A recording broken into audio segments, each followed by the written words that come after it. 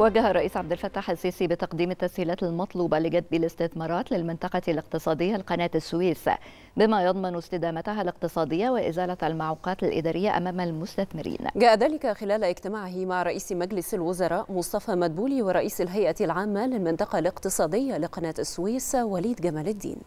اجتمع السيد الرئيس عبد الفتاح السيسي مع الدكتور مصطفى مدبولي رئيس مجلس الوزراء. والسيد وليد جمال الدين رئيس الهيئة العامة للمنطقة الاقتصادية لقناة السويس والسيد عمرو حسني القائم بأعمال رئيس هيئة الرقابة الإدارية.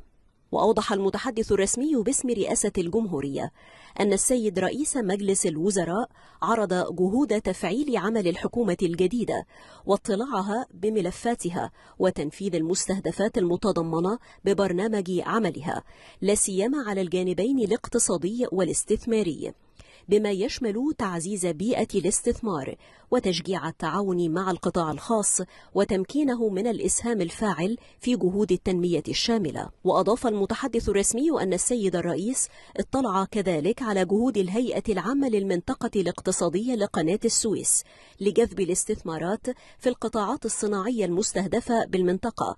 وكذا التوجه نحو تنويع تلك الاستثمارات لتضم جميع المناطق التابعة للهيئة.